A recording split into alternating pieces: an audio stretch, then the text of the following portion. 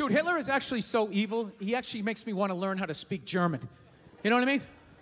Because I just want to know, like, what the fuck was he saying to those people? Every speech, He's so clearly out of his fucking mind. It's got to be what he's saying. The fuck did he say?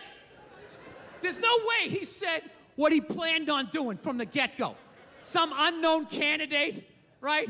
Early on. Okay, our next speaker coming to the stage to possibly run Deutschland for the foreseeable future. His name is, um, oh dear, I left my glasses backstage. Is, is that Alan? Is it Alan?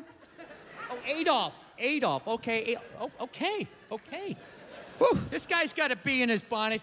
Okay, please welcome Adolf Hitler. You got three minutes, buddy. What I'm going to kill millions of people.